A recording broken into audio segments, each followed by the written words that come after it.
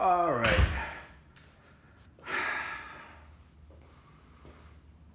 I think I'm about ready to call this mess more or less done. Um, paint shelf up there. Obviously ladders, extension cords, and crap. Um, you can see, uh, there's a garage door.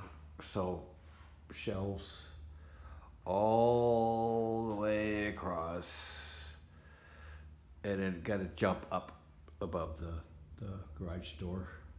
Um, that this this thing here was my project for the weekend. Um,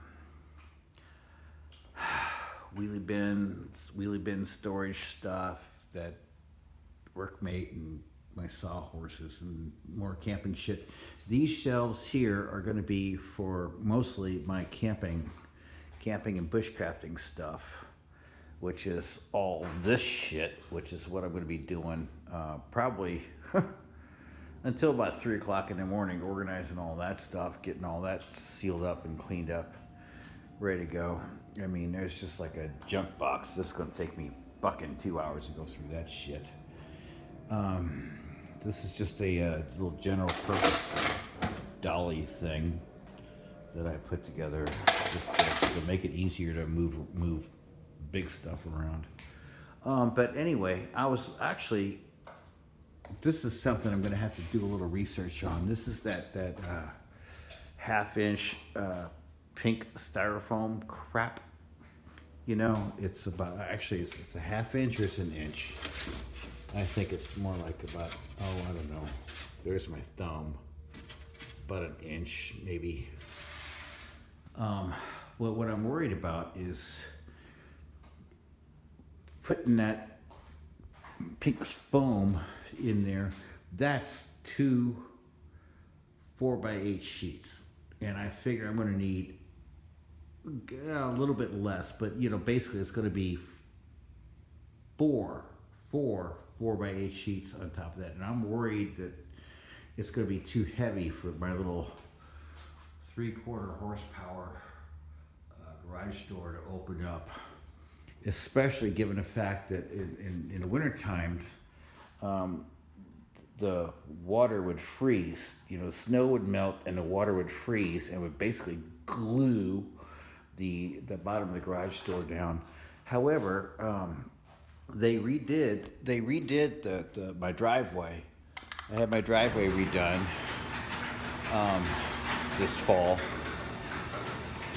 As you can see, it's, well, of course, it's fucking raining. Um, but anyway, the deal was is before it was right it right up in here.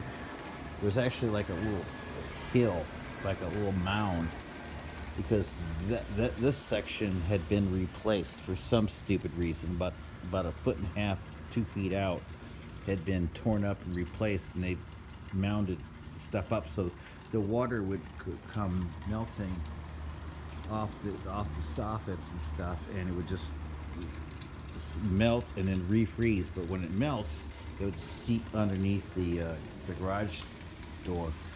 And I thought maybe I should uh, maybe replace the seal, but uh, it looks in good shape. There's no, I can't see any real damage to it, other than the fact that it's just letting water in. Um, so yeah, that little project right there took me way longer than I thought because it took me way longer than I thought it would because all I had to work with was uh, plywood. I'm just using up scrap lumber, you know. So all I had was clothes already. Thank you. All I had was plywood. So you know, cutting when you're by yourself, you know, you're cutting uh, four four foot long sections of plywood with a circle saw is not that easy to do. Got some molding over here I gotta get rid of. Oh, th- th- that's my signature wall uh, thing. Um, everybody who's come over and helped me work on the house, they get to sign my wall.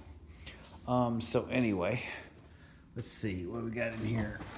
We got just my power tools and shit. And obviously, toolbox and shit. Anyway, so this is this evening's project. Now that I finally got the damn garage floor all cleaned up, then uh, now I can start getting into that stupid shit. Which means I might actually be able to have my living room back, which would be totally fucking awesome.